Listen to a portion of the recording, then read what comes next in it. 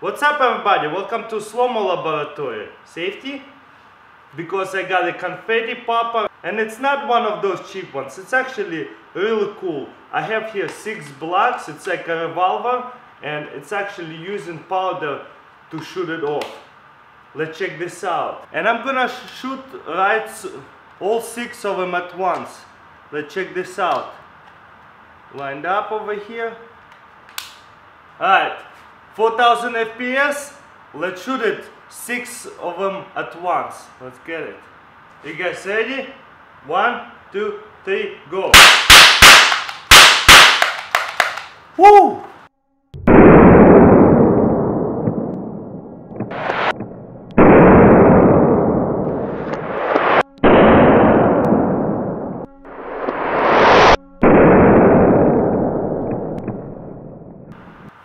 Alright guys, that was cool. Now I'm gonna reload. You see I shoot four of them and now I got brand new and I'm gonna stack it up in there. Don't move! Okay, that was cool. Let's shoot it side view at 4000 FPS. Let's check this out.